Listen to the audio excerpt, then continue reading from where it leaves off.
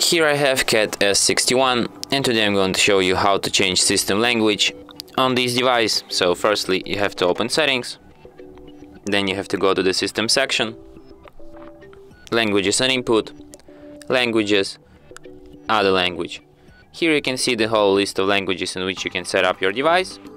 Let's select for example maybe Ukrainian and then to set Ukrainian as your system language you just have to drag it on top and after that language will be changed to Ukrainian.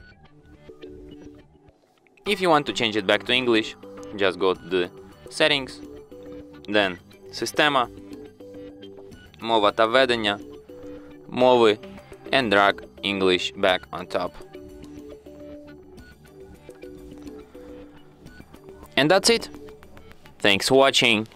If you find this tutorial useful, don't forget to hit that like button and subscribe to our channel.